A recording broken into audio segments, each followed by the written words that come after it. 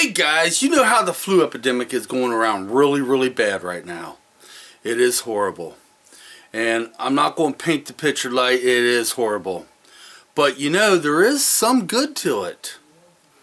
There is. Let me explain. But before I explain, we need a different place, right? Alright! Now we're in a different place, okay?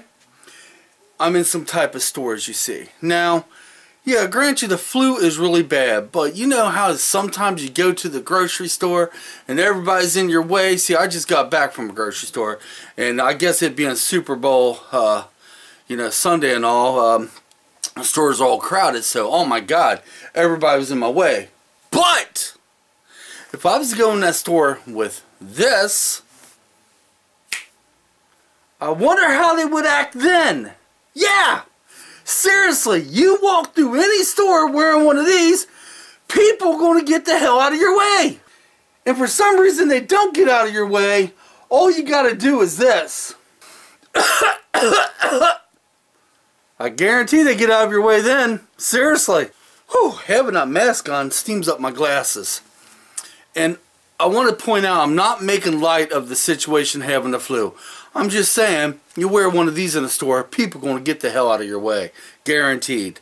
Now, let's talk a little bit about the flu. I hear lots of people asking that one question. How do I prevent myself from getting the flu? Oh my God. Well, it's real simple, guys. Wash your hands. Wash, wash, wash. Germ-X, wash your hands. And try not to put your hands to your face. Wash your hands. And for God's sakes, if you do got the flu, which I hope like hell you don't catch it, wear one of these if you go in the store. Okay? That way you don't spread your germs to somebody else. And by the way, you know, another way to prevent yourself from ever catching the flu, well, it doesn't really prevent it, get the shot. Okay, grant you, the shot does not prevent you from getting the flu, but if you do get the flu, it's a lot easier on you. Just saying. But there's a lot of people against that shot. Me with a heart condition, I have to get the shot every year. And I'm glad I did get it this year. Because if I did end up with the flu, Lord forbid, it shouldn't be that bad. At least I hope not. So guys, once again, we're still in the grocery store, aren't we? You want people to get out of your way. And I'm not making light of the situation getting the flu, but put one of these on your face. And if they still don't get out of your way, Guarantee they will get out of your way. Alright guys, I'm One Bubba Mike One. Thanks for watching today's video.